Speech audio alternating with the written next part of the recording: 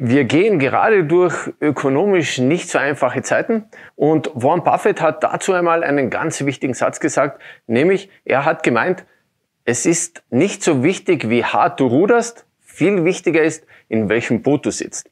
Was er damit gemeint hat, ist folgendes. Du kannst der beste Verkäufer der Welt sein, wenn du mitten in einer Gaskrise versuchst, Gasheizungen zu verkaufen, kannst du der beste Verkäufer der Welt sein und du wirst es nicht schaffen.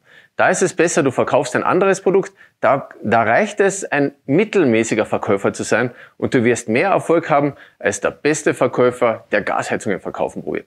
Deswegen sieh mal an, in welchem Boot sitzt du, solltest du möglicherweise auf ein anderes Boot umsteigen, damit du schneller und einfacher vorankommst in deiner Karriere.